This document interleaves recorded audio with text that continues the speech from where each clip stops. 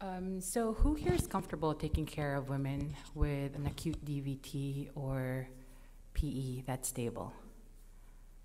Wonderful. A couple of hands raised. That's awesome.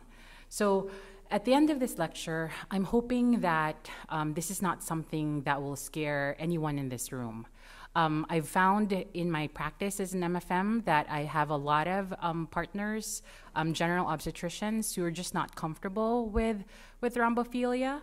Um, they just hear the word Lovenox and you're like, MFM, please. But that probably should not be the case. All right. So give me 20 minutes. I'm hoping that we can get some headway, but I will try.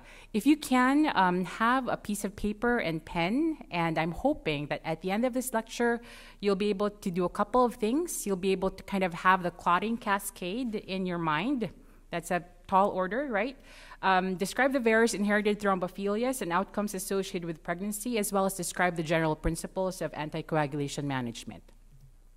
So I still have no financial conflict of interest over the past two hours, um, but I do have an interest in first class seating in an airplane.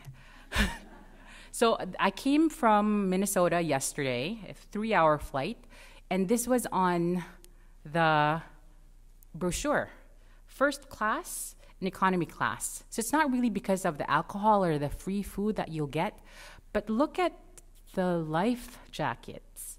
When you're in first class, it's not bound to anything. But if you're in economy class, you have to pull. So for that reason alone, I would like a first class seat, please. but this was just yesterday, I promise. It's on my phone. I have the date and the time that I took the picture. So if you think about um, blood clots, right, used to be known as economy class syndrome. Probably a marketing scheme for airlines, so all of us would want a first class seat, right?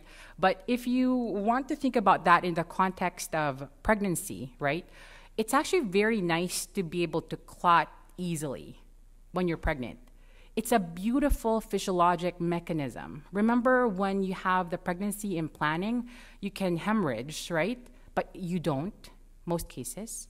When you deliver, the placenta delivers after the baby, you can hemorrhage, but in most cases, you don't. I'm not looking at the men, sorry. I'm just looking at the females.